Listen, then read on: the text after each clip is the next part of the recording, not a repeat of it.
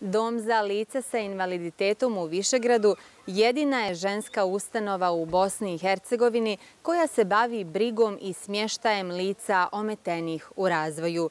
Brojne su aktivnosti korisnica koje su smještene u ovom domu, a njih je trenutno 185 ovdje. Danas razgovaramo sa šefom radno-okupacijone terapije Draganom Perišić. Recite nam kakve su aktivnosti korisnica koje su smještene u ovom domu? Pa pre svega da vas pozdravim, hvala vam što ste došli. U našem domu, kao što ste rekli, 185 korisnica, od kojih oko 65 korisnica je aktivno na radnoj terapiji svakodnevno.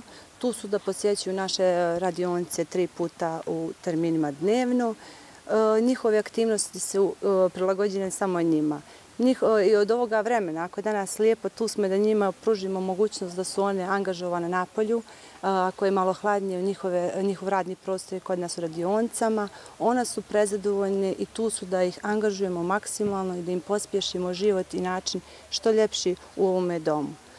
E, svakodnevno svakodnevno tu sarađujemo sa socijalnim radnikom i radnim instruktorima po po načinu da njihov, e, njihovo zbrinjavanje ovde što kvalitetnije i da ih što više e, usmjerimo i i pospješimo kvalitetnijem načinu života i njihova, da njihova fizička i mentalna funkcija što bolje uznapreduje. Da bi se korisnice osjećale zadovoljno i ispunjeno, ali i da bi bili adekvatno zdravstveno zbrinuti, tu je zaduženo izuzetno stručno osoblje koje radi na različitim poslovima u ovom domu. Da, to je besprijekorno, ne treba to o tome se ponavljati. Medicinsko osoblje za svu njihovu medicinsku brigu ovaj, edukovano je dovoljno osposobljeno i one primaju svu pomoć i njegu koja je potrebna u ovom domu. Svi ostali su tu dovoljno ovaj, adekvatno obezbijeđeni da im pruže njihove van aktivnosti mimo medicinskog ovaj, zbrinjavanja.